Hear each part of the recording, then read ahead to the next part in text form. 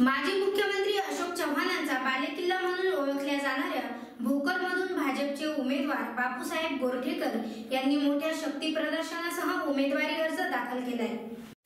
माजी मुख्यमंत्री अशोक चव्हाण यांचा बालेकिल्ला म्हणून ओळख असलेल्या भोकरमध्ये भाजपनं आज मोठे शक्ती प्रदर्शन केले भोकर शहरात भाजपनं काढलेल्या रॅलीत हजारो कार्यकर्ते सहभागी झाले होते. भाजपचे उमेदवार बापूसाहेब गोरठेकर यांनी आज आपला उमेदवारी अर्ज दाखल केलाय.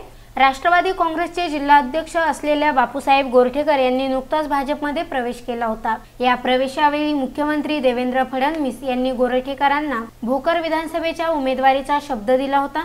तो शब्द पाळत भाजपच्या पहिल्याच यादीत गोरठेकर यांची उमेदवारी निश्चित करण्यात आली. त्यानंतर आज बापूसाहेब गोरठेकर यांनी आपला उमेदवारी अर्ज दाखल केलाय.